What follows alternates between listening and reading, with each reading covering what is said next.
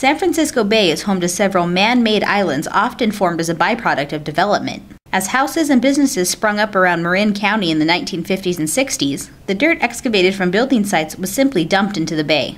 After the 2007 Cosco Busan oil spill, one of these dirt islands was identified as an important sanctuary for birds. Today, Aramburu Island is a resting place for more than 50 species of birds and is an active restoration site for the Richardson Bay Audubon Center and Sanctuary, with funding provided in part by the Oil Spill Restoration Settlement. On November 7, 2007, the ship Cosco Busan struck the San Francisco Oakland Bay Bridge. The collision punctured the vessel and caused more than 50,000 gallons of fuel oil to spill into the bay. U.S. Fish and Wildlife Service employees, including law enforcement, assisted with response and natural resource assessment. As part of the assessment, the service helped to develop a restoration plan to restore damaged resources like habitat. That is when the tiny 17 acre Aramburu Island started to get the attention of biologists. The oil actually reached most parts of the bay, and in particular, um, a lot of the oil was transported up to Richardson Bay through wave action. And at that point, Audubon um, scientists and volunteers noticed that the majority of birds in Richardson Bay were actually using Aramburu Island to escape the toxic waters. And at that time, Aramburu Island was covered in invasive vegetation. There was no beach at all, and so there really would have been no suitable habitat.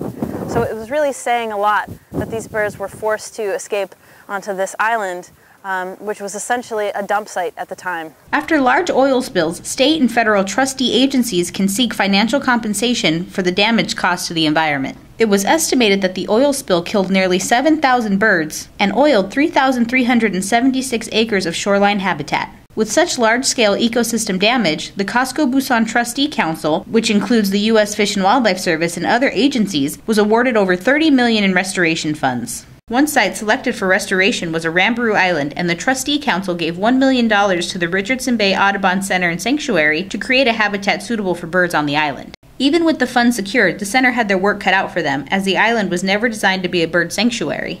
One of the first issues that had to be solved was the erosion of Aramburu Island. As you can see, the waves come in from the southeast and they hit the island and they used to dig into the edge of the island, causing um, a serious erosion problem. And then they would push that material further up the island. So essentially they were carving out a cliff into the island and the island was getting narrower and narrower each year, losing about two to six meters per year, um, depending on storm events. We brought in the fine sand as well as this nice white oyster hash that you can see. And we created a beach that would have typically existed in this type of the Bay Area. And that beach is actually held into place by the microgroins, which are then perpendicular to the shoreline. They're sticking out. They look like tree trunks and rock piles, and they're actually the pins that are holding the shoreline into place.